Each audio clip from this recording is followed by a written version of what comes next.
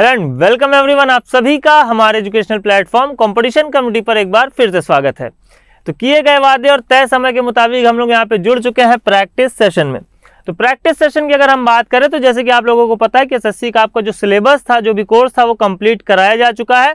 और यहाँ पर अब समय है प्रैक्टिस करने का प्रैक्टिस सेशन में आपको किस प्रकार से हमारे साथ जुड़ना है तो सबसे पहली बात ये कि आप लोग भी हमारे साथ में कॉपी पेन लेकर के बैठेंगे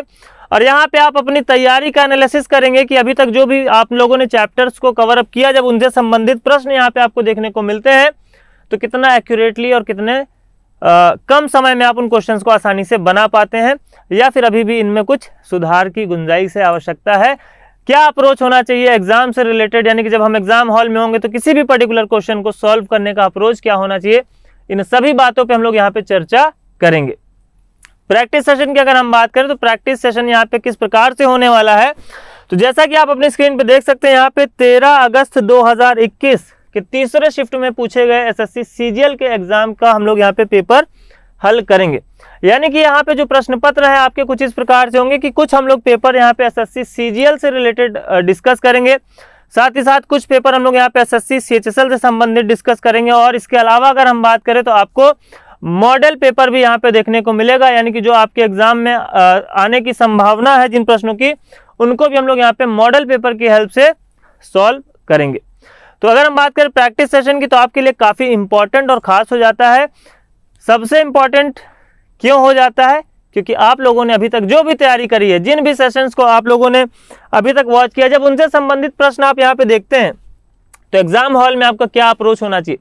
भले आप स्पीड टेस्ट भले आप मॉक दे रहे हो लेकिन कहीं ना कहीं किसी पर्टिकुलर क्वेश्चन में कितना टाइम देना चाहिए किस प्रकार से उन उन क्वेश्चंस को हल करने का अप्रोच होना चाहिए या कई बार हम एग्जाम हॉल में जब फंस जाते हैं तो उस सिचुएशन में हमें क्या करना चाहिए तो सभी बातों के ऊपर हम लोगों ने ऑलरेडी डिटेल में डिस्कस किया हुआ है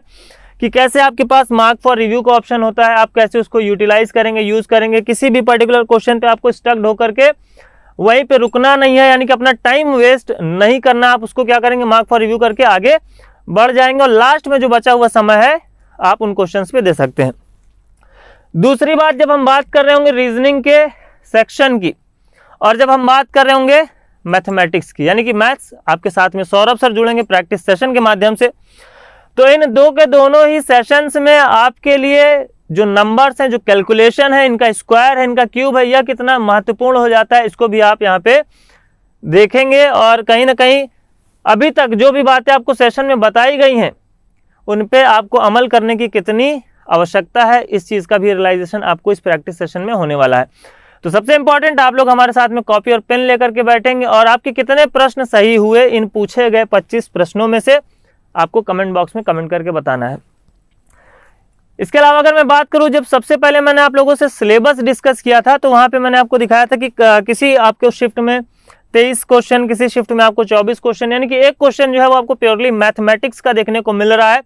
तो अभी फिलहाल के प्रैक्टिस सेशन की अगर मैं बात करूं तो यहाँ पे मैं उन क्वेश्चंस को इंक्लूड करके चल रहा हूं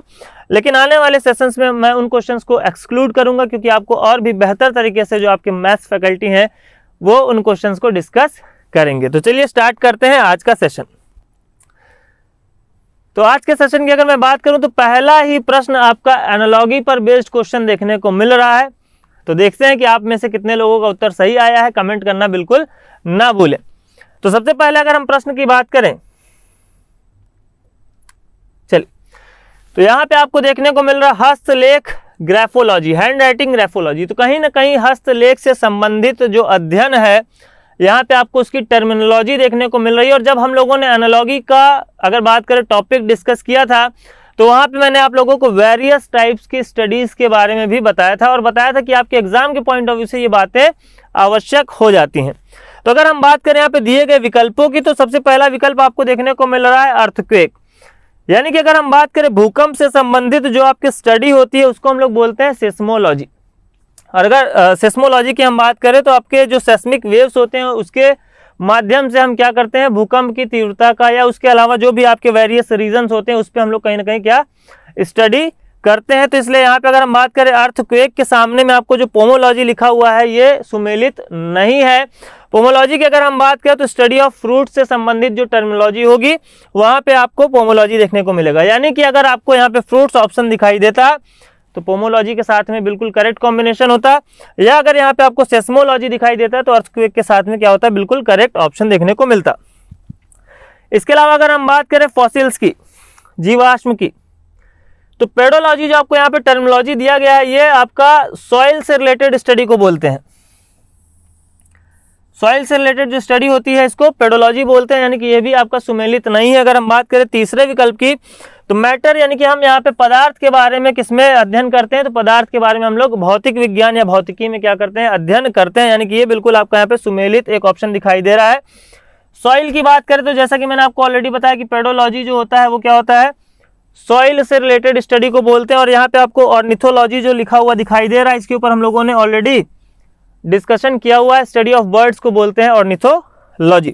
तो इस प्रकार इस पर्टिकुलर क्वेश्चन के अगर हम सही उत्तर की बात करें तो आपका यहाँ पे ऑप्शन नंबर सी क्या हो जाएगा राइट आंसर हो जाएगा पूछे गए प्रश्न के लिए बात करेंगे यहाँ पे हम लोग अगले प्रश्न की अगले प्रश्न की अगर हम बात करें तो ऑर्ड वन आउट पर बेस्ड आपको क्वेश्चन देखने को मिल रहा है या आप कह सकते हैं क्लासिफिकेशन से संबंधित आपको क्वेश्चन देखने को मिल रहा है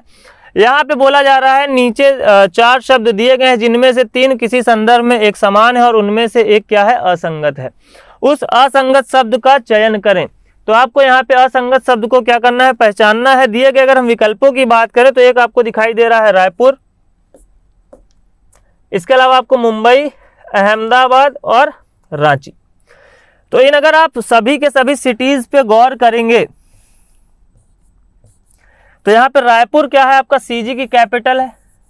क्लियर मुंबई की अगर हम बात करें तो कैपिटल ऑफ महाराष्ट्र है इसके अलावा अगर हम अहमदाबाद की बात करें तो अहमदाबाद आपका गुजरात की कैपिटल नहीं है बल्कि क्या है सबसे बड़ी सिटी है अगर हम बात करें अहमदाबाद की गुजरात की कैपिटल की बात करें तो क्या हो जाएगा गांधीनगर हो जाएगा और इसके अलावा जो आपको चौथा विकल्प देखने को मिल रहा है रांची रांची आपका झारखंड की क्या है कैपिटल है यानी कि अगर हम अहमदाबाद को छोड़ दें तो बाकी के तीन आपके क्या हैं कैपिटल सिटीज़ है डिफरेंट स्टेट्स के और यहाँ पे अलग जो हो जाएगा वो हो जाएगा आपका अहमदाबाद क्यों क्योंकि ये कैपिटल सिटी नहीं है तो यहाँ पे भी आपका जो सही उत्तर है वो क्या हो जाएगा ऑप्शन नंबर सी अब हम बात कर लेते हैं थोड़ा सा इन दिए गए विकल्पों से संबंधित कुछ एडिशनल इन्फॉर्मेशन की जो कि आपको एग्जाम में देखने को मिल सकती है जैसे कि अगर हम बात करें लॉजिकल सीक्वेंस ऑफ वर्ड्स की तो लॉजिकल सीक्वेंस ऑफ वर्ड्स में हम लोगों ने क्वेश्चन डिस्कस किया था जहां पे आपको मैप के अकॉर्डिंग क्या अलग अलग सिटीज की पोजीशंस दी गई थी और उसके अकॉर्डिंग आपको क्या करना था टॉप टू बॉटम के सीक्वेंस में अरेंज करना था इसी प्रकार एरिया वाइज भी आपको क्वेश्चंस देखने को मिल सकते हैं यानी कि अलग अलग स्टेट के आपको नाम दे दिया जाएगा और एरिया वाइज उनको सीक्वेंस में अरेंज करना हो सकता है या पॉपुलेशन के बेस्ड पर भी आपको अरेंजमेंट देखने को मिल सकता है तो एरिया वाइज अगर हम स्टेट्स की बात करें तो पांच स्टेट में देखिए सबसे पहले अगर हम बात करें तो आपको देखने को मिल जाएगा राजस्थान राजस्थान के बाद आपको मिल जाएगा मध्य प्रदेश एमपी इसके बाद आपको देखने को मिल जाएगा महाराष्ट्र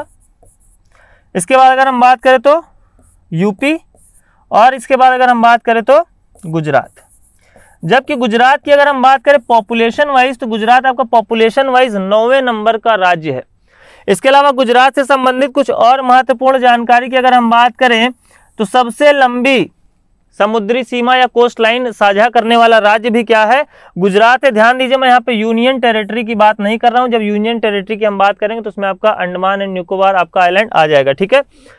हम स्टेट की बात करें लगभग 1600 किलोमीटर का जो आपका सीमा है वो साझा करता है आपका गुजरात जबकि अंडमान निकोबार की अगर हम बात करें तो लगभग उन्नीस 12 किलोमीटर का जो समुद्री सीमा है वो कौन साझा करता है आपका ये यूनियन टेरिटरी में आ जाएगा अंडमान एंड निकोबार आइलैंड तो इसके बेसिस पे भी आपको ऑर्ड वन आउट देखने को मिल सकता है क्लियर चलिए बात कर लेते हैं अगले प्रश्न की अगला प्रश्न यहाँ पे आपको ब्लड रिलेशन पर बेस्ड देखने को मिल रहा है वो भी coded form of blood relation तो यहाँ पे अप्रोच हमारा वही होगा हमें क्या करना है पहले दी गई जानकारी में सबसे पहले जब कभी भी हम रीजनिंग में कोडेड फॉर्म ऑफ क्वेश्चंस की बात करते हैं तो सबसे पहले यह देखते हैं कि फर्स्ट पर्सन का रिलेशन सेकंड पर्सन के संबंध में दिया गया या फिर सेकंड पर्सन का रिलेशन फर्स्ट पर्सन के संबंध में दिया गया है तो यहाँ पे आप क्लियरली देख सकते हैं A plus B means A is the husband of B यानी कि first person is related with second person यहाँ पे आपको जानकारी में दिखाई दे रही ठीक है तो यहाँ पे अगर हम बात करें प्लस का मतलब क्या है तो प्लस का मतलब क्लियरली आप देख सकते हैं क्या है हस्बैंड है परसेंटेज की बात करें तो परसेंटेज का आ, मतलब यहाँ पे आपको देखने को मिल रहा है फादर और अगर हम डॉलर की बात करें तो डॉलर का मतलब यहाँ पे आपको देखने को मिल रहा है मदर क्लियर बात करें अगर हम प्रश्न की या दिए गए क्वेश्चन की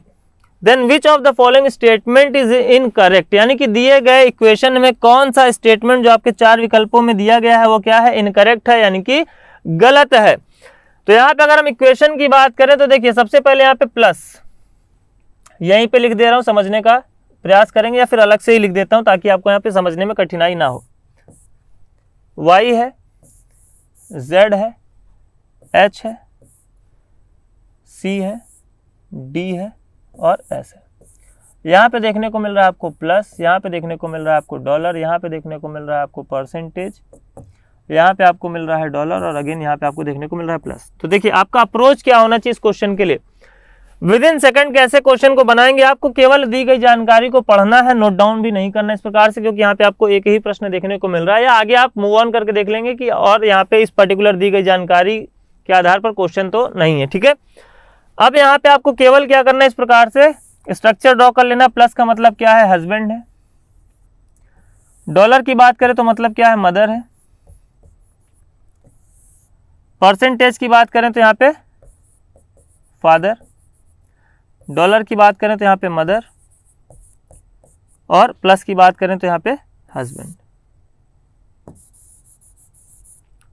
केवल आपको इतना सा यहाँ पे काम कर लेना है और लिखने की भी आवश्यकता नहीं दिए गए क्वेश्चन में ही आप इसको डायरेक्टली क्या कर सकते हैं समझ सकते हैं देखिए पहले की अगर हम बात करें तो बोला है Z is the maternal grandfather of C यानी कि जेड क्या है sorry grandmother Z is the maternal grandmother of C यानी कि जेड क्या है सी की नानी है अब अगर हम बात करें जेड और सी की तो सबसे पहले कि जेड का क्या होना चाहिए जेंडर क्लियर होना चाहिए तो डॉलर की अगर हम बात करें तो डॉलर का मतलब दिया गया है मदर जेड का जेंडर क्या है क्लियर है अब रिलेशन की बात कर लेते हैं तो यहाँ पे दो जनरेशन का क्या होना चाहिए गैप होना चाहिए तो परसेंटेज की अगर हम बात करें तो परसेंटेज का मतलब हो गया फादर यानी कि एच क्या हो गया इनका पिता हो गया और पिता की हो गई माता यानी कि क्या हो जाएंगी दादी हो जाएंगी पहला ही आपका ऑप्शन जो है क्या हो जाएगा करेक्ट आंसर हो जाएगा क्यों क्योंकि बोला गया which of the following statement is incorrect हमें इनकरेक्ट पहचानना था तो यहाँ पे अगर हम बात करें जेड के रिलेशन की सी के साथ तो जेड क्या है सी की दादी है ना कि नानी है क्लियर देखिए ये तो हो गई बात पूरा प्रॉपर कैसे सॉल्व करना है बाकी के ऑप्शंस को भी यहाँ पे आप कैसे चेक कर सकते हैं मान लेते हैं ये आपको चौथा ऑप्शन दिखाई देता तो तो बाकी के ऑप्शंस को भी आपको चेक करने की आवश्यकता पड़ती तो किस प्रकार से करते बोला है C is the mother in law of S C क्या है एस की मदर इन लॉ है यानी कि सी क्या है एस की सास है तो सी और एस के रिलेशन की अगर हम बात करें तो प्लस का मतलब यहाँ पे दिया गया हस्बैंड और डॉलर का मतलब दिया गया मदर यानी कि हस्बैंड की मदर क्या होती है सास होती है बिल्कुल करेक्ट है H is the son of Y H क्या है वाई का पुत्र है तो वाई और एच एच की अगर हम बात करें तो सबसे पहले तो यहाँ पे परसेंटेज तो परसेंटेज का मतलब फादर एंड इनका जेंडर क्या है मेल है यहाँ पे आपको दिया गया है डॉलर डॉलर का मतलब यानी कि ये क्या है इनकी माता है और माता की अगर हम बात करें तो प्लस के बाद यहाँ पे आपको देखने को मिल रहा हस्बैंड यानी माता का कौन है ये हस्बैंड है तो ऑब्वियस सी बात है एच क्या हो जाएगा वाई का पुत्र हो जाएगा क्लियर तो इस प्रकार से आप डायरेक्ट ही यहाँ पे ऑप्शंस को चेक कर सकते थे आपको स्ट्रक्चर सिर्फ इसलिए बताया कि आपका जो अप्रोच है क्वेश्चन को हल करने का वो क्या होना चाहिए अगर इनकेस आपको क्वेश्चन में डिफिकल्टी आती है तो आप स्ट्रक्चर बनाएंगे अदरवाइज ठीक ठाक नंबर ऑफ क्वेश्चन की अगर आप प्रैक्टिस किए हुए हैं तो आपको स्ट्रक्चर बनाने की कोई आवश्यकता नहीं आप डायरेक्ट ही क्वेश्चन को हल करेंगे जिस प्रकार से मैंने यहाँ पे बाकी के विकल्पों में अप्लाई करके आपको दिखाया इक्वेशन में ठीक है चलिए बात करेंगे हम लोग यहाँ पे अगले पूछे गए प्रश्न की अगले अगर हम प्रश्न की बात करें तो आपको यहाँ पे बताना है नंबर ऑफ ट्रायंगल्स और बिल्कुल बेसिक सा क्वेश्चन इससे आसान क्वेश्चन आपको देखने को नहीं मिल सकता अभी के टाइम में यहाँ पे अगर हम बात करें नंबर ऑफ ट्रायंगल्स की तो देखिए इस स्ट्रक्चर में हमें पता है कितने ट्रायंगल बनेंगे तीन बनेंगे इस स्ट्रक्चर में हमें पता है कितने ट्रायंगल बनेंगे तीन बनेंगे इस स्ट्रक्चर में भी हमें पता है कितने ट्रायंगल बनेंगे तीन बनेंगे और इस पूरे के पूरे अगर हम स्ट्रक्चर की बात करें कंप्लीट तो इसमें भी हमें पता है कितने ट्रायंगल बनेंगे तीन ट्रायंगल बनेंगे यानी कि तीन तीन छः तीन नौ तीन बारह यानी कि आप क्लियरली देख सकते हैं यहाँ पे तीन यहाँ से हो गए तीन यहाँ से हो गए छः तीन यहाँ से हो गए नौ और यहाँ से आपको तीन ट्रायंगल देखने को मिले यानी कि यहाँ पे अगर हम टोटल नंबर ऑफ ट्रायंगल्स की बात करें तो बारह त्रिभुज आपको बनते हुए दिखाई दे रहे हैं यानी कि ऑप्शन नंबर डी क्या हो जाएगा यहाँ पर राइट आंसर हो जाएगा पूछे गए प्रश्न के लिए थोड़ा सा कॉन्सेप्ट की भी बात कर लेते हैं कि किस प्रकार से निकालना था हमें हम क्या करते थे हमें पता है कि इस स्ट्रक्चर में कितने नंबर ऑफ ट्रैंगल्स है तो हमें पता है इस स्ट्रक्चर में नंबर ऑफ ट्रैंगल्स कितने हैं तीन अब इसको हम जितने भागों में बांट देते थे यानी कि तीन का डबल कितना हो गया छः हो गया अब यहाँ पे देखिए इस हिस्से की अगर हम बात करें तो ये हिस्सा आपका केवल एक ही भाग को साझा कर रहा है लेकिन यह भी क्या है दो भागों में डिवाइड है ठीक है तो तीन का डबल छः हो गया लेकिन इस हिस्से से भी हमें कितने मिल जाएंगे तीन मिल जाएंगे यानी कि हो गए नौ और इस हिस्से से भी हमें मिल जाएंगे तीन यानी कि हो गए बारह तो इससे आसान क्वेश्चन आज की डेट में आपको देखने को नहीं मिल सकता अगर हम बात करें काउंटिंग ऑफ फिगर्स की बात कर लेते हैं अगले क्वेश्चन की जो कि आपका मिसिंग नंबर पर बेस्ड क्वेश्चन है तो जैसा कि मैंने आपको कहा कि नंबर्स को देख करके स्क्वायर क्यूब प्राइम नंबर इस प्रकार के जो भी नंबर्स आपके बनते हैं अब ज़रूरी नहीं कि वो आपका क्या हो एक परफेक्ट स्क्वायर हो एक परफेक्ट क्यूब हो उसमें कुछ जुड़ा हुआ हो सकता है कुछ घटाया हुआ हो सकता है तो इस प्रकार के नंबर्स को भी देख करके आपको क्या करना है पहचानना है कि कितने के स्क्वायर के आसपास के ये नंबर है या कितने के क्यूब के आसपास के नंबर है और इस पर बेस्ड आपको वेरियस क्वेश्चन एग्जाम में देखने को मिलेंगे इस पर्टिकुलर क्वेश्चन की अगर हम बात करें तो ऑलरेडी यहाँ पे आपको तीन क्या दिखाई दे रहे हैं परफेक्ट स्क्वायर दिखाई दे रहे हैं यानी कि पांच का स्क्वायर होता है ये आपका आठ का स्क्वायर होता है और ये नौ का स्क्वायर होता है जबकि हम बात करें इन दो नंबर्स की तो ऑलरेडी यहाँ पे आप देख सकते हैं तेईस और अट्ठारह का डिफरेंस पांच का है और उसी का हमने क्या कर दिया स्क्वायर तैंतीस और इकतालीस की बात करें तो यहाँ पे आठ का डिफरेंस उसी का हमने कर दिया स्क्वायर यानी कि अड़तीस में जब हम नौ का डिफरेंस लेंगे तो यहाँ पे जो हमारे पास विकल्प है एक विकल्प क्या हो सकता था एक विकल्प हो सकता था अड़तीस प्लस नौ करोगे तो फोर्टी सेवन और एक विकल्प क्या हो सकता है एक विकल्प हो सकता है हमारे पास ट्वेंटी नाइन तो फोर्टी सेवन होता तो फोर्टी सेवन भी यहाँ पे एक आंसर हो सकता था लेकिन ध्यान ये देना है कि यहाँ पे जो आपको बाकी के दो नंबर से दिखाई दे रहे हैं उनमें जो ऊपर वाला नंबर है वो क्या है बड़ा नंबर है नीचे वाला नंबर क्या है छोटा नंबर है तो इनकेस अगर इन दोनों विकल्पों के साथ हमें यहाँ पे कॉम्बिनेशन देखने को मिलता है तो जो हमारी प्रायोरिटी होती है वो किसके साथ में जाती है वो ट्वेंटी नाइन के साथ में प्रायोरिटी हमारी बनती क्यों क्योंकि जो ऊपर वाला नंबर है यानी मिड रो वाला अगर हम बात करें जो नंबर है वो क्या है एक बड़ा नंबर है तो आंसर यहाँ पे आपका हो जाएगा ट्वेंटी नाइन यानी कि ऑप्शन नंबर ए हालांकि यहाँ पे आपको फोर्टी सेवन देखने को नहीं मिल रहा है क्लियर चलिए बात कर लेते हैं अगले क्वेश्चन की मैथमेटिकल ऑपरेशन की तो मैथमेटिकल ऑपरेशन में मैंने आपको प्रायोरिटी ऑर्डर बताया है प्रायोरिटी ऑर्डर लास्ट वाले इक्वल्स टू को पहले प्रायोरिटी देना है पॉइंट में आने वाली वैल्यू डिवीजन के साइन को यूज करके प्रायोरिटी नहीं देना है तो इस आधार पर अगर हम बात करें तो पहले के दो ऑप्शन तो हमारे क्या हो जाते हैं होल्ड पे चले जाते हैं वही ठीक है बात कर लेंगे हम लोग यहाँ पे तीसरे और चौथे विकल्प की तो तीसरे विकल्प की अगर हम बात करें तो डिवाइडेड बाई का साइन हमें सेकंड नंबर पे दिखाई दे रहा है यानी कि 138 डिवाइडेड बाई 23 तो 138 डिवाइडेड बाई 23 की अगर हम बात करें तो आप क्लियरली देख सकते हैं यहाँ पे सिक्स टाइम्स में ये क्या होगा डिविजिबल होगा यानी कि वैल्यू आपको मिल जाएगी यहाँ पे कितनी छः इसके बाद अगर हम बात करें तो यहाँ पे आपको मल्टीप्लीकेशन का साइन दिखाई नहीं दे रहा है यानी कि हम लोग रूल कौन सा फॉलो करते हैं बोर्ड मास का रूल फॉलो करते हैं तो यहाँ पे वैल्यू मिल जाएगी आपको सिक्स प्लस यहाँ पे मिल जाएगा आपको सिक्सटी एट और यहाँ पे आपको मिल जाएगा माइनस का फिफ्टी फोर और इक्वल्स टू यहाँ पे हो गया आपका ट्वेंटी तो क्या ये क्वेश्चन करेक्ट बनती हुई दिखाई दे रही तो क्लियरली दे सकते हैं अड़सठ और छः हो जाएगा चौहत्तर माइनस कर दोगे चौवन यानी कि फिफ्टी फोर तो यहाँ पे वैल्यू मिल जाएगी आपको कितनी ट्वेंटी और ये क्वेश्चन बिल्कुल करेक्ट होती होती हुई दिखाई दे रही है यानी कि आपको बाकी के ऑप्शन पे टाइम अपना वेस्ट करने की ज़रूरत भी नहीं पड़ी प्रायोरिटी ऑर्डर के अकॉर्डिंग आपने क्वेश्चन को बनाया और कम से कम समय में आपका क्वेश्चन यहाँ पे हल होता हुआ आपको दिखाई दे रहा है बात करेंगे अगले क्वेश्चन की अगले क्वेश्चन की बात अगर हम करें तो सीरीज में मैंने आपको इस पर्टिकुलर टाइप के क्वेश्चंस के बारे में काफी सारे क्वेश्चंस मैंने ऑलरेडी सॉल्व कराए थे तो सबसे पहले जो हमारा अप्रोच होगा वो क्या करेंगे नंबर ऑफ एलिमेंट्स को काउंट करेंगे एक दो तीन चार पाँच छः सात आठ नौ दस ग्यारह बारह तेरह चौदह पंद्रह सोलह सत्रह अठारह उन्नीस बीस इक्कीस बाईस तेईस चौबीस नंबर ऑफ एलिमेंट्स हो गए चौबीस यानी कि या तो छः छः के चार ग्रुप्स में इसको डिवाइड करेंगे या तो चार चार के छः ग्रुप्स में इसको डिवाइड करेंगे अब यहाँ पे अगर हम बात करें एलिमेंट कौन कौन से देखने को मिल रहे हैं तो क्यू मिल रहा है ए मिल रहा है डी मिल रहा है आर मिल रहा है के मिल रहा है और पी मिल रहा है यानी कि छह एलिमेंट तो ऑलरेडी यहाँ पे हमें देखने को मिल रहा है यानी कि हम क्या करेंगे इनको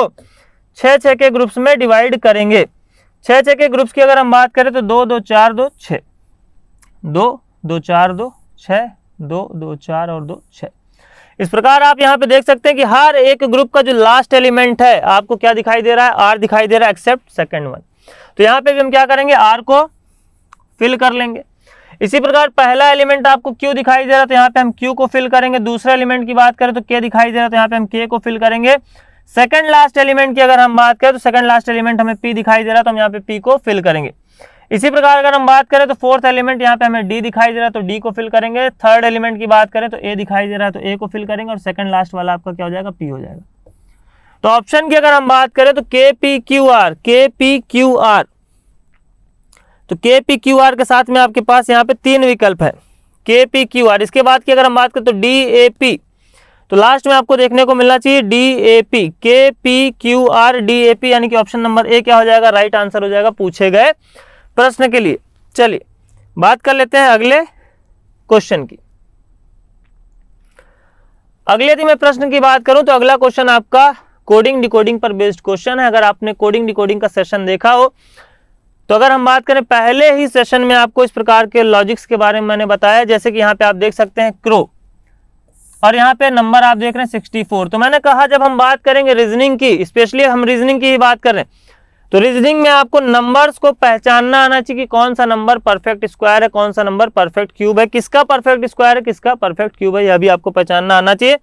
या किसके परफेक्ट स्क्वायर या क्यूब के आसपास का नंबर है जैसे कि यहाँ पे 64 परफेक्ट स्क्वायर है 125 क्या है परफेक्ट स्क्वायर है और ऑप्शन की अगर हम बात करें तो ऑप्शन में आपको परफेक्ट स्क्वायर के तौर पे 216 भी दिखाई दे रहा है पर सॉरी परफेक्ट क्यूब के तौर पे आपको 216 भी दिखाई दे रहा है तो यहाँ पे अगर हम बात करें तो चार का जो क्यूब होता है वो क्या होता है सिक्सटी फोर होता है पांच का जो क्यूब होता है वो क्या होता है वन ट्वेंटी फाइव तो यहाँ पे ये आठ का स्क्वायर भी है या आप कह सकते हैं ये चार का क्या है क्यूब है तो परफेक्ट क्यूब अगेन आपको परफेक्ट क्यूब देखने को मिला तो ये किसका क्यूब होता है तो ये पांच का क्यूब होता है क्यों हमने पांच का क्यूब लिया क्योंकि यहाँ पे जो आपके नंबर ऑफ लेटर्स हैं वो कितने हैं पांच हैं तो मैंने कहा परफेक्ट स्क्वायर या क्यूब के आसपास के नंबर भी हो सकते थे तो हो सकता था यहाँ पे आपको लॉजिक एग्जामिनर कैसा दे देता यहाँ पे आपको 68 लिखा हुआ दे देता यानी कि हमने क्या किया जितने नंबर ऑफ लेटर्स हैं उसका हमने क्या लिया परफेक्ट उसका हमने नंबर का क्या कर दिया क्यूब कर दिया और वहाँ पर हमने नंबर ऑफ लेटर्स को ऐड कर दिया या नंबर ऑफ वॉवल्स को ऐड करके यहाँ पे आपको सिक्सटी लिखा हुआ दे सकता था या नंबर ऑफ कॉन्सोनेंट को ऐड करके यहाँ पे आपको 67 लिखा हुआ दे सकता था तो इस प्रकार के भी लॉजिक आपको देखने को मिल सकते हैं इन सभी प्रकार के लॉजिक्स को मैंने ऑलरेडी डिस्कस या कवर अप किया हुआ है ठीक है यहाँ पे हम बात कर लेंगे पूछे गए प्रश्न यानी कि पैरेट की तो पैरेट में नंबर ऑफ लेटर्स कितने हैं छः तो छः के क्यूब की अगर हम बात करें तो कितना होता है दो यानी कि ऑप्शन नंबर बी क्या हो जाएगा राइट आंसर हो जाएगा बात कर लेते हैं अगले क्वेश्चन की अगले क्वेश्चन की अगर हम बात करें तो नेसेंट और यंग यानी कि यहाँ पे आपको सेनोनिम्स दिखाई दे रहे हैं तो आ, अगर हम बात करें एग्जेंट की तो यहाँ पे आपका जो आ, इसके लिए आंसर हो जाएगा वो बनेगा आपका ऑप्शन नंबर बी यानी कि सपोर्टिव हिंदी की अगर हम बात करें तो समर्थित हालांकि हिंदी में अनुलग्नक मेरे लिए भी थोड़ा सा डिफिकल्ट था यहाँ पे इसको समझना ठीक है तो इंग्लिश से अगर आपका वकैब पे थोड़ा सा कमांड है तो आप यहाँ पे आसानी से इस पर्टिकुलर क्वेश्चन का आंसर दे सकते थे ठीक है चलिए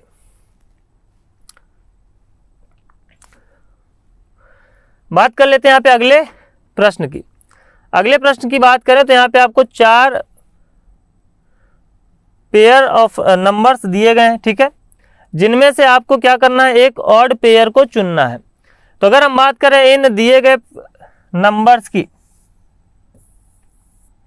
तो सबसे पहले यहाँ पे आपको देखने को मिल रहा है वन सेवन एट और थ्री ज़ीरो एट तो सबसे पहले हमारा अप्रोच क्या होना चाहिए एग्जाम के पॉइंट ऑफ व्यू से समझिए कुछ भी लॉजिक लगाने से पहले सबसे पहले हम क्या करेंगे डिफरेंस पे काम करेंगे जैसे कि मैंने कहा सीरीज पर बेस्ड क्वेश्चन हो या इस प्रकार के पेयर से संबंधित प्रश्न हो एनोलॉजी से रिलेटेड क्वेश्चन हो सबसे पहले हम क्या करते हैं डिफरेंस पे काम करते हैं तो अगर हम बात करें डिफरेंस की भी तो हमें पूरा पूरा डिफरेंस नहीं निकालना हम क्या करेंगे केवल यूनिट डिजिट के बेस पे यहाँ पे डिफरेंस निकालेंगे तो यूनिट डिजिट के बेस पे अगर हम देखें तो आठ में से आठ गए जीरो आठ में से पाँच गए तीन यहाँ पे हो जाएगा बारह में से नौ गए तीन चार में से एक गए तीन यानी कि यूनिट डिजिट के बेस पे यहाँ पे आप ऑप्शन नंबर ए को एज आंसर मार्क कर सकते हो जैसे कि यहाँ पे आप देख सकते हैं एक और ग्यारह के अगर हम डिफरेंस की बात करें तो वन आपको एज अ डिफरेंस देखने को मिल रहा है बारह में से नौ गए तीन आठ में से छः गए दो और दो में से एक गए एक यानी यहाँ पे भी एक आपको डिफरेंस देखने को मिल रहा है इतने में भी आप क्या कर सकते हैं यहाँ पे आंसर मार्क करके आगे बढ़ सकते हैं आपको पूरा हल करने की आवश्यकता नहीं है तो यूनिट डिजिट भी बहुत काम की चीज़ है आप अपना समय बचा सकते हैं चलिए बात करेंगे अगले पूछे गए प्रश्न की अगला प्रश्न आपका पेपर कटिंग एंड फोल्डिंग पर बेस्ड है देखो यहाँ पे केवल और केवल क्या करना है हमें एलिमिनेशन करना है लास्ट फोर्ड पे मिरर लगाओगे मिरर लगाओगे तो पता है मिरर के पास वाली आकृति मिरर के पास से बनती है और मिरर से दूर वाली मिरर के दूर में तो इस प्रकार से आपका यहाँ पे एक ही विकल्प बचता हुआ दिखाई दे रहा है कि ए भी एलिमिनेट हो गया सी भी एलिमिनेट हो गया और डी भी एलिमिनेट हो गया आंसर क्या हो जाएगा ऑप्शन नंबर बी देख करके चुटकियों में हल करेंगे और आगे बढ़ेंगे चलिए बात कर लेते हैं अगले प्रश्न की अगले प्रश्न की अगर हम बात करें तो कंट्री के लिए आपको कोड दिया गया है B O W K X L F लिखते हैं C O U N T R Y एक तो ये कि डायरेक्ट आपको प्लेस वैल्यू पता होनी चाहिए दूसरा ये कि जो अप्रोच है हमारा वो क्या होना चाहिए क्वेश्चन को हल करने के लिए जब क्वेश्चन का लॉजिक हमें ना समझ में आए तो तो इस प्रकार से आपको लिखना है गिवन वर्ड और उसका कोड कोड की बात करें तो B O W K X L और एफ तो प्लेस वैल्यू के टर्म में मैं यहाँ पे बात कर रहा हूँ प्लेस वैल्यू में लिख नहीं रहा हूँ तो सबसे पहले हम बात कर लेते हैं लॉजिक की तो सी से बी अगर देख रहे हो तो माइनस वन यहाँ पे आपको कोई भी अंतर दिखाई नहीं दे रहा जबकि यहाँ पे हम बात करें तो प्लस का टू होता हुआ दिखाई दे रहा है यानी कि यहाँ पे माइनस वन यहाँ पे आपका ज़ीरो और यहाँ पे प्लस टू यहाँ पे अगर हम बात करें तो माइनस का थ्री यहाँ पे अगर हम बात करें तो प्लस का फोर यहाँ पे अगर हम बात करें तो माइनस का सिक्स और यहाँ पे डिफरेंस आपका कहीं ज़्यादा बनता हुआ दिखाई दे रहा है यानी कि लगभग उन्नीस का डिफरेंस बनता हुआ दिखाई दे रहा है तो ये एक प्रॉपर लॉजिक बनता हुआ यहाँ पे हमें नहीं दिख रहा हालांकि प्लस माइनस प्लस माइनस आपको अल्टरनेट दिखाई दे रहे हैं यानी कि एक प्रॉपर नंबर का अगर सीक्वेंस देखने को मिलता तो हम कह सकते थे कि वैलिड लॉजिक हमें देखने को मिल रहा है यानी कि ये लॉजिक यहाँ पे बनता हुआ दिखाई नहीं दे रहा है अपोजिट लेटर के टर्म में भी अगर आप देखेंगे तो सी का अपोजिट होता है एक्स और उसके बाद आप माइनस करेंगे या प्लस करेंगे तब जा करके आपको बी मिलेगा ओ का अपोजिट होता है एल प्लस थ्री करेंगे तो मिल जाएगा तो यहाँ पे भी एक वैलिड लॉजिक बनता हुआ दिखाई नहीं दे रहा है और जब इस प्रकार हमें वैलिड लॉजिक बनता हुआ नहीं दिखाई दे रहा तब तो हम बात करते हैं किसकी पैटर्न की और दूसरा सबसे इंपॉर्टेंट कि जब इस प्रकार के वर्ड देखने को मिले तो सबसे पहले क्या कर लेना है जब इस प्रकार का क्वेश्चन हमें मिल जाता है एग्जाम में तो सबसे पहले उसको दो भागों में विभाजित कर लेते हैं तो एन की अगर हम बात करें तो एन की प्लेस वैल्यू होती है फोर्टीन यहाँ पे अगर हम के की बात करें तो के की प्लेस वैल्यू होती है इलेवन यानी कि अगर हम एन और के की बात करें तो माइनस तीन का यहाँ पे अंतर आपको देखने को मिल रहा है यानी कि हो सकता है माइनस तीन के आसपास का लॉजिक हो या फिर एन का अपोजिट लेटर क्या होता है एम होता है और एम में अगर हम क्या कर दें माइनस टू कर दें तो भी हमें के मिल जाएगा यानी कि अपोजिट लेटर के आसपास का लॉजिक भी हो सकता है विद इन पैटर्न जब हम दो भागों में विभाजित कर लेते हैं तो फर्स्ट हाफ का इंटरचेंज सेकेंड हाफ में हो सकता है दो तरीके मैंने बताए फर्स्ट हाफ का इंटरचेंज फर्स्ट हाफ में हो सकता है एक तरीके से ठीक है चलिए अब अगर हम फर्स्ट हाफ का इंटरचेंज सेकेंड हाफ में करते हैं और यहाँ पे लॉजिक की अगर हम बात करें तो यहाँ पे आपको माइनस का थ्री होता हुआ दिखाई दे रहा है जबकि हम बात करें सी से अगर हम एफ जाते हैं तो प्लस का थ्री हो जाएगा ओ से अगर हम एल जाते हैं तो माइनस का थ्री हो जाएगा यू से हम एक्स जाते हैं तो प्लस का क्या हो जाएगा थ्री हो जाएगा जैसे कि सी से एफ हम गए प्लस थ्री पंद्रह से बारह है माइनस थ्री इक्कीस से चौबीस गए प्लस थ्री यहां पे एन से क्या है माइनस थ्री अगेन देखिए वाई से बी प्लस थ्री आर से ओ माइनस थ्री और टी से डब्लू प्लस थ्री तो इस प्रकार आपको यहाँ पे एक वैलिड लॉजिक दिखाई दे रहा है और अगर हम बात करें यहाँ पे पैटर्न की तो पैटर्न किस प्रकार से बनाना है वह भी आपको यहाँ पे बनता हुआ दिखाई दे रहा है तो सबसे पहले अगर हम बात करें आपका प्लेस वैल्यू पे कमांड है तो डायरेक्ट क्या करोगे अगर क्वेश्चन में फंसते हो तो इस प्रकार से गिवन वर्ड उसके कोड और अगर कमांड नहीं है तो यहाँ पे आप इसका जो प्लेस वैल्यू है वो लिखना बिल्कुल नहीं भूलेंगे और अगर क्वेश्चन में फिर भी स्ट्रगल कर रहे हैं तो उस क्वेश्चन को मार्क फॉर रिव्यू करके आगे बढ़ जाएंगे ये नहीं कि कसम खा लेते हैं मैंने बताया ना कि कसम नहीं खाना है कि आज या तो हम रहेंगे या तो प्रश्न रहेगा क्या करोगे मार्क फॉर रिव्यू करके आगे बढ़ जाओगे चलो बात कर लेते हैं अगले क्वेश्चन की जो कि आपका प्योरली मैथ्स पर बेस्ड क्वेश्चन है और एसएससी के जो अगर हम बात करें सीजीएल की तो ये प्रश्न आपको कहाँ देखने को मिला था रीजनिंग के सेक्शन में ठीक है तो चलो इस प्रश्न पे मैं डिस्कशन कर लेता हूँ लेकिन जैसे कि मैंने कहा आगे के सेशंस में आपको इस प्रकार के जो प्रश्न होंगे वो आपके मैथ्स एक्सपर्ट यानी कि सौरभ सर ही आपको सॉल्व कराने वाले हैं तो यहाँ पे अगर हम बात करें in a training camp three types of games hockey cricket and badminton were taught fourteen percent of the total students receive cricket training यानी कि टोटल की अगर हम बात करें तो होते हैं कितने 100 परसेंट हंड्रेड परसेंट में से 14 परसेंट ने किसकी ट्रेनिंग ली तो 14 परसेंट ने ली क्रिकेट की ट्रेनिंग बच गए कितने बच गए आपके यहाँ पे 86 अब 86 परसेंट की अगर हम बात करें तो बोला है of the total student receive cricket training ठीक है twenty two percent of the remaining यानी कि हम रिमेनिंग एट्टी सिक्स परसेंट में से क्या करेंगे ट्वेंटी टू परसेंट निकालेंगे रिसीव ट्रेनिंग फॉर हॉकी और इसमें से अगर हम ट्वेंटी टू परसेंट की बात करें तो इसका ट्वेंटी टू परसेंट कितना हो जाएगा eight point six multiplied by two करोगे तो यहाँ पे वैल्यू मिल जाएगी हमें seventeen point two zero and again हमें क्या करना होगा यहाँ पे वन पॉइंट सेवन टू क्या करना होगा ऐड करना होगा तो वैल्यू की अगर हम बात करें तो यहाँ पे कितनी आ जाएगी तो ये वैल्यू आ जाएगी यहाँ पे टू नाइन एट और वन यानी कि एटीन पॉइंट नाइन टू ये वैल्यू आपकी बन गई अब 86 परसेंट जो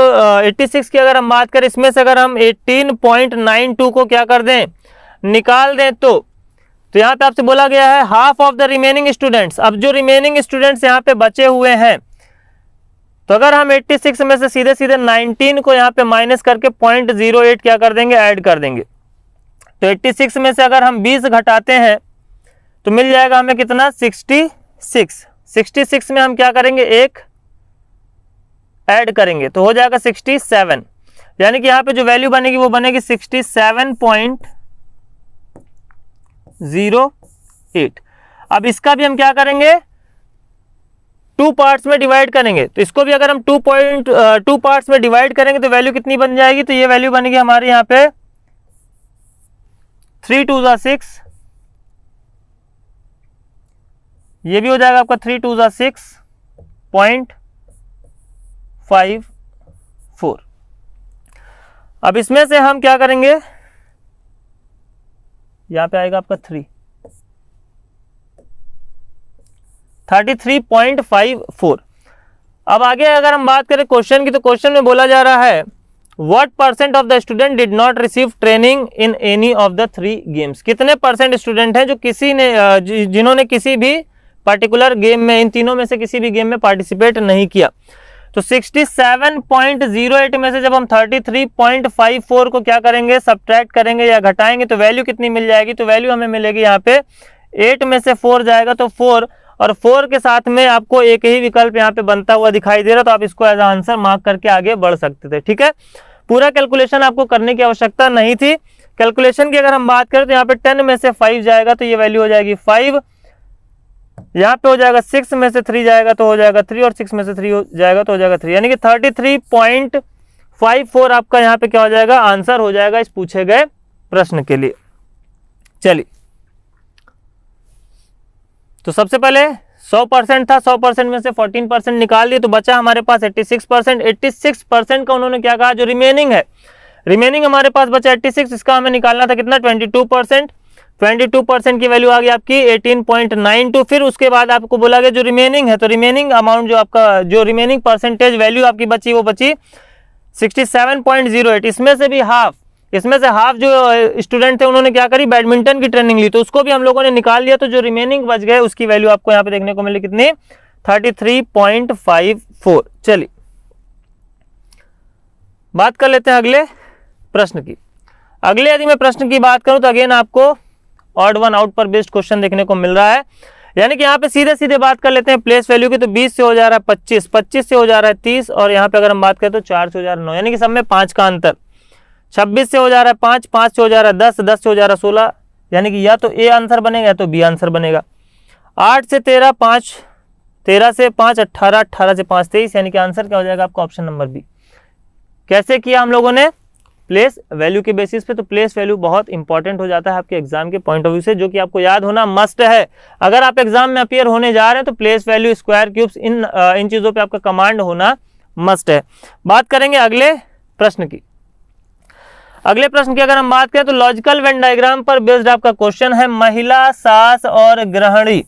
तो अगर हम बात करें सास हो या ग्रहणी हो सबसे पहली प्रायोरिटी तो क्या है कि वह महिला होगी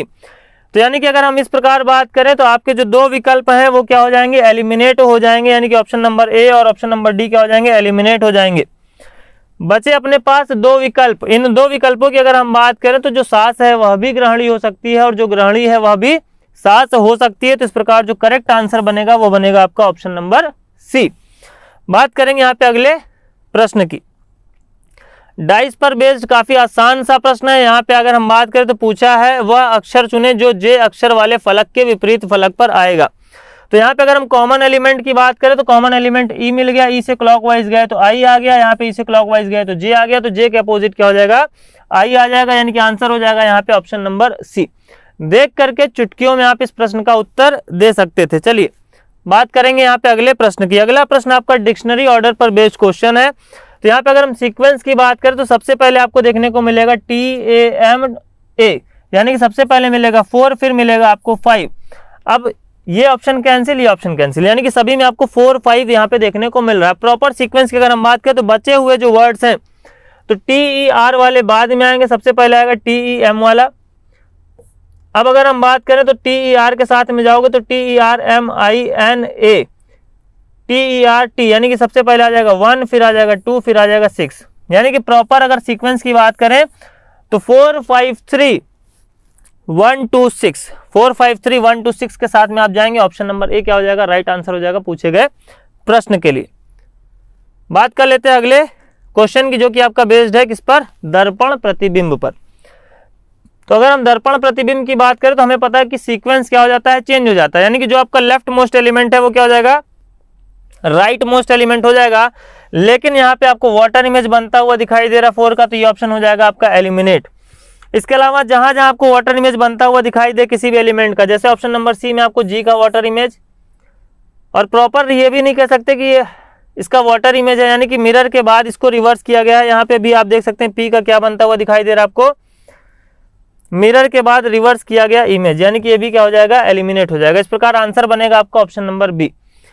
वाटर इमेज मिरर इमेज का सेशन अगर आपने नहीं देखा तो पहले आप सेशन जा करके ज़रूर देखें फिर आप समझ पाएंगे कि इस प्रकार से हम कैसे आसानी से ऑप्शंस को एलिमिनेट कर पाएंगे चलिए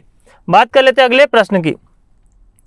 अगला प्रश्न आपका नंबर सीरीज पर बेस्ड है नंबर सीरीज में मैंने आपको बताया कि डिफरेंस का कितना इंपॉर्टेंट होता है साथ ही साथ अगर डिफरेंस कितना आपके लिए इंपॉर्टेंट हो जाता है या कितना इंपॉर्टेंस होता है डिफरेंस का साथ ही हम वेरियस लॉजिक्स पे भी बात करते हैं यानी कि अगर हम बात करें किसी नंबर का स्क्वायर किसी नंबर का क्यूब इस प्रकार के डिफरेंस आपको देखने को मिल रहे हैं कब आपको मल्टीपल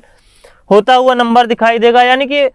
ऑलमोस्ट जो भी आपके क्वेश्चन एग्जाम में आने की प्रोबेबिलिटी है हर प्रकार के प्रश्न को हम लोगों ने डिस्कस किया हुआ है तो यहाँ पे अगर हम बात करें तो 27 और 30 के बीच में तीन का अंतर 30 और 37 के बीच में सात का अंतर 37 और 50 के बीच में तेरह का अंतर यहाँ पे हम ले लेंगे x का अंतर यहाँ पे हम ले लेंगे y का अंतर x प्लस वाई की वैल्यू की अगर हम बात करें तो यहाँ पे हमें देखने को मिला कितना 48 तो डबल डिफरेंस पे भी हम बात करेंगे ये हमारा अप्रोच होता था क्वेश्चन को बनाने का यहाँ पे अगर हम बात करें तो तीन और सात में चार का अंतर सात और तेरह में छः का अंतर यानी कि यहाँ पे हम बढ़ गए दो तो अगर तेरह और एक्स के बीच के अंतर की बात करें हम आठ का अंतर लें और एक्स और वाई के बीच के अंतर की हम बात करें अगर दस का अंतर लें तो क्या इन दोनों का अंतर लेने के बाद में वैल्यू फोर्टी एट बनेगी बनेगी तो लॉजिक वैलिड है नहीं बनेगी तो हम दूसरे लॉजिक पे क्या करेंगे विचार करेंगे तो तेरह और आठ की बात करें तो हो जाएगा इक्कीस इक्कीस और दस की बात करें तो हो जाएगा इकतीस यानी कि यहाँ पे आपको इनका सम 52 बनता हुआ दिखाई नहीं दे रहा यानी कि एक वैलिड लॉजिक बनता हुआ दिखाई नहीं दे रहा है अब हम क्या करेंगे दूसरे लॉजिक पे यहां पे विचार करेंगे दूसरा लॉजिक क्या हो सकता था इन नंबर्स पे थोड़ा सा हम लोग क्या करेंगे गौर करेंगे इन नंबर्स की अगर हम बात करें तीन के बाद सात आपको देखने को मिल रहा है यानी कि जितने भी नंबर आपको अंतर में दिखाई दे रहे हैं ये सभी के सभी नंबर कैसे हैं तो ये सभी के सभी नंबर क्या है प्राइम नंबर यानी कि तीन के बाद अगला प्राइम नंबर मिलता है पांच तो उसको हम लोगों ने छोड़ दिया हम लोगों ने कंसिडर किया किसको सात को सात के बाद अगला प्राइम नंबर मिलता है ग्यारह इसको हम लोगों ने छोड़ दिया हम लोगों ने कंसिडर किया किसको तेरह को तेरह के बाद अगला प्राइम नंबर हो जाएगा सत्रह सत्रह को हमें छोड़ना है हम किसको कंसिडर करेंगे उन्नीस को और इस प्रकार पचास प्लस उन्नीस करेंगे तो यहाँ पे एक विकल्प हमें सिक्सटी नाइन बनता हुआ दिखाई दे रहा है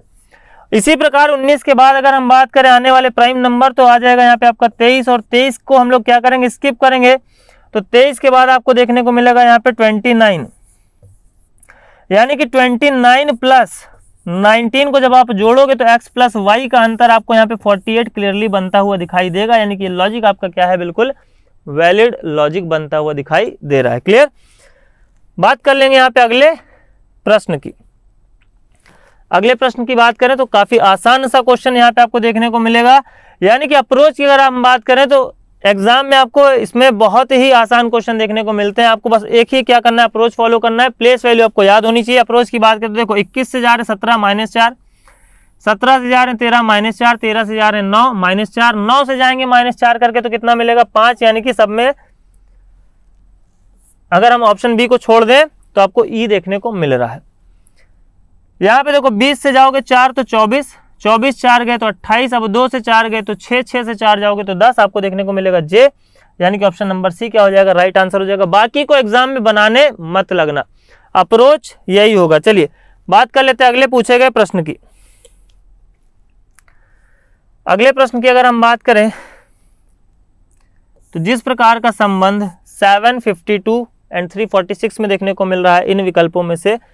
किस विकल्प में आपको इसी प्रकार का संबंध देखने को मिल रहा है यह हमें बताना है तो अगर हम बात करें सेवन और फिफ्टी टू की तो सेवन का स्क्वायर होता है कितना forty nine square plus three कर सकते हैं और यहां पे भी अगर आप ध्यान दें तो जो भी आपको विकल्प देखने को मिल रहा है अगर हम ऑप्शन नंबर ए को छोड़ दें तो चार का स्क्वायर करोगे सोलह प्लस तीन आठ का स्क्वायर करोगे चौसठ यानी सिक्सटी फोर प्लस तीन सिक्स का स्क्वायर करोगे थर्टी सिक्स प्लस थ्री यानी कि छत्तीस प्लस तीन उनतालीस आपको देखने को मिल रहा है इसके बाद अगर हम बात करें थ्री फोर्टी सिक्स की तो मैंने कहा कि आपको नंबर देख करके समझ आना चाहिए और पूरे सेशन में मैं यही समझा रहा हूँ और जो भी आपके टॉपिक्स हम लोगों ने कवर करे तो वहाँ पे जिन भी टॉपिक्स में इन चीज़ों का यूज़ है इस पर हमने क्या किया है फोकस किया है इस पर हम लोगों ने जोर दिया है तो यहाँ पे आप क्लियरली दे सकते हैं अगर हम सेवन के क्यूब की बात करें तो कितना होता है थ्री फोर्टी थ्री तीन सौ तिरालीस बीस तक के क्यूब्स मैंने आप लोगों को कहा कम से कम याद होनी चाहिए कोई आठ का क्यूब पूछे तो कितना पाँच सौ बारह नौ का तो सात सौ उनतीस बिल्कुल आपके टंग पे होना चाहिए ठीक है बीस तक के क्यूब बारह का पूछे सत्रह अट्ठाईस तेरह का पूछे इक्कीस सत्तानवे किसी भी नंबर का बीस के अगर हम बात करें बीस तक के नंबर का क्यूब अगर एग्जाम में देखने को मिलता है बिल्कुल आपको मिलेगा भी तो एटलीस्ट इन नंबर्स पे आपका कमांड होना चाहिए तो इस प्रकार अगर हम बात करें यहाँ पे पाँच का क्यूब 125 प्लस तीन लेकिन यहाँ पे आपको पाँच के स्क्वायर में देखने को नहीं मिला था प्लस तीन इसलिए ये ऑप्शन हो गया आपका एलिमिनेट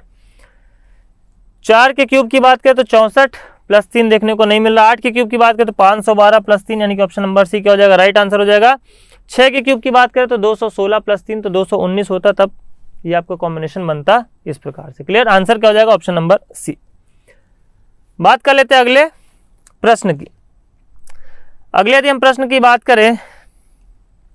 पाँच गुड़े तीन प्लस एक चार गुड़े तीन प्लस एक यानी कि यहाँ पे अगर हम बात करें तो छः गुड़े तीन प्लस एक काफ़ी आसान सा क्वेश्चन तो ऑप्शन नंबर डी का हो जाएगा राइट आंसर हो जाएगा पूछे गए प्रश्न के लिए चलिए फिगर पर बेस्ड सीरीज़ काफ़ी इंपॉर्टेंट हो जाती है और कई बार आप क्या करते हैं ऐसे क्वेश्चन में फंसते हैं तो इसमें मैंने आपको बताया है कि रोटेशन डायरेक्शन एंड डिस्टेंस के बेस पे मैंने आपको रोटेशन जब वहाँ पे पढ़ाया था तो फिगर सीरीज में कैसे रोटेशन को हम लोग यूटिलाइज करेंगे रोटेशन और शिफ्टिंग दो ही बातों पर यहाँ पे आपको क्वेश्चन बनते हुए दिखाई देंगे और कई बार आपको एलिमेंट में चेंज होते हुए भी दिखाई देते हैं तो उस पर भी हम लोगों ने डिस्कशन किया हुआ है तो यहाँ पे अगर हम रोटेशन की बात करें तो रोटेशन में किस प्रकार से आपको चेंज होता हुआ दिखाई पहली चीज तो क्या हो रहा है एलिमेंट आपका शिफ्ट हो रहा है यानी कि इस कॉर्नर से इस कॉर्नर पे चला है फिर इस कॉर्नर से इस कॉर्नर पर आया यानी कि अगले ऑप्शन में कहा आएगा इस कॉर्नर से इस कॉर्नर पर आपका एलिमेंट शिफ्ट होकर के आएगा यानी कि ऑप्शन नंबर ए क्या हो जाएगा एलिमिनेट हो जाएगा इस वाले अगर हम एलिमेंट की बात करें तो यहाँ से शिफ्ट होकर के यहाँ पे आ गया इस कॉर्नर पे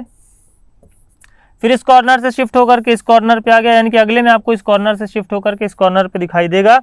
तो इस प्रकार यहाँ पे आप कोई भी ऑप्शन एलिमिनेट नहीं कर सकते फिलहाल दूसरी चीज़ यहां पे ये पहले अगर आपको वन थर्ड दिखाई दे रहा है तो यहाँ पे आपको कह सकते हैं कि टू थर्ड आपको यहाँ पे दिखाई दे रहा फिल हुआ फिर यहाँ पे वन थर्ड दिखाई दिया यानी कि फिर आपको टू हम बात करें तो टू थर्ड आपको फिल हुआ दिखाई देगा तो इस प्रकार आपको ऑप्शन नंबर सी भी यहाँ पे क्या हो जाता है एलिमिनेट हो जाता है तो ये तो हो गई केवल शिफ्टिंग की बात शिफ्टिंग के बेसिस पे यहाँ पे अभी भी आपके दो विकल्प बच गए अब इन दो विकल्पों की अगर हम बात करें तो रोटेशन को यहाँ पे समझना हमारे लिए क्या हो जाएगा इंपॉर्टेंट हो जाएगा रोटेशन को यदि हम समझें तो ध्यान दीजिए ये जो आकृति है आपकी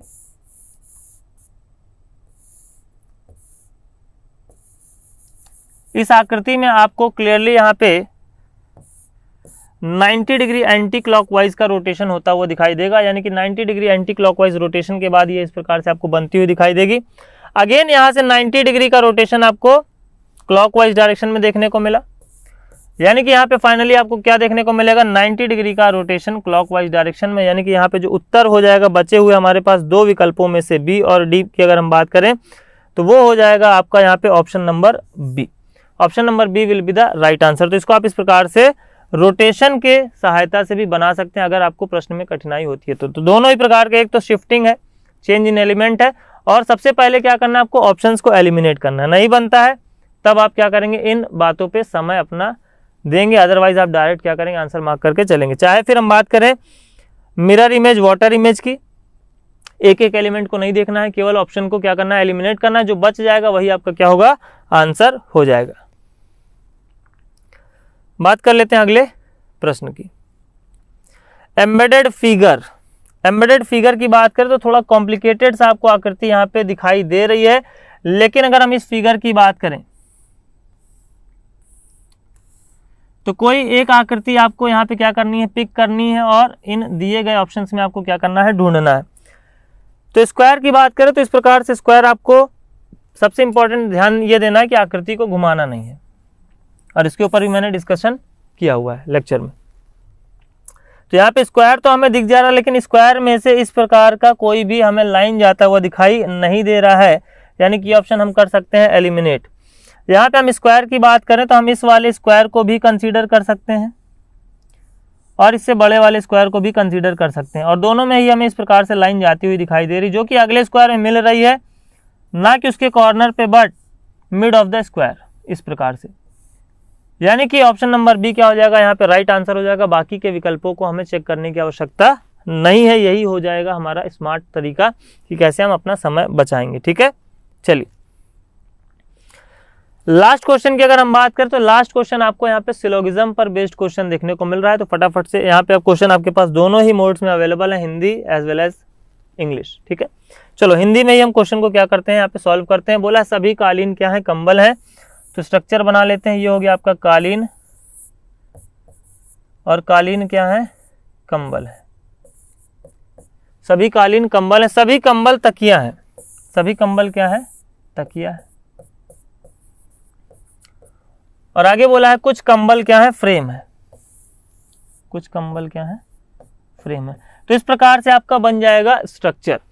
बात करेंगे यहाँ पे हम लोग कंक्लूजन की तो बोला सभी तकिया कालीन है सभी के सभी जो तकिया है वो क्या है कालीन है तो ये आपका कांड से का केस बनेगा सिलॉक्स के लेक्चर में मैंने प्रॉपरली इन सभी बातों को डिस्कस किया हुआ है तो यहाँ पे पहला हो जाएगा कांड से यानी कि पहला तो यहाँ पे बनता हुआ दिखाई नहीं दे रहा है दूसरे कंक्लूजन की अगर हम बात करें तो कुछ तकिया क्या है कालीन है यानी कि अगर हम बात करें तकिया की तो ऑब्वियस ही बात है कुछ तकिया का जो हिस्सा है वो क्या हो जाएगा कालीन हो जाएगा जब हम बात करेंगे बड़े सर्कल से छोटे सर्कल की ओर तो सम का जो आपका कंक्लूजन होगा वो क्या हो जाएगा ट्रू हो जाएगा यानी कि सेकंड वाला तो आपका बन रहा है थर्ड वन की अगर हम बात करें तो सभी कालीन क्या है फ्रेम है तो पूरे के पूरे कालीन यहाँ पे आपको फ्रेम बनते हुए दिखाई नहीं दे रहे हैं नॉट इवन आपको सम पार्ट भी यहाँ पे आ, कालीन का फ्रेम होता हुआ दिखाई नहीं दे रहा उसकी क्या है संभावना है पॉसिबिलिटी है तो इस प्रकार अगर हम बात करें उत्तर की तो हो जाएगा केवल निष्कर्ष दो क्या करता है अनुसरण करता है तो ये हो गए आपके पूरे पच्चीस के पच्चीस प्रश्न अब इन पच्चीस प्रश्नों में आपके कितने प्रश्न सही हुए कमेंट बॉक्स में कमेंट करके ज़रूर बताएं एग्ज़ाम का जो लेवल है वो भी आपको समझ में आ चुका होगा हालांकि मैंने आप लोगों को ऑलरेडी पेपर को सॉल्व करने के लिए सेशन में भी बताया है कि आप लोग पेपर को क्या करेंगे सॉल्व करेंगे और पेपर से जुड़े हुए जो भी आपकी समस्याएं हैं उसको हम लोग टेलीग्राम ग्रुप पे डिस्कस भी करते हैं यानी कि आपके कमेंट जहां भी आप फंसते हैं उसको हम लोग डिस्कस भी करते हैं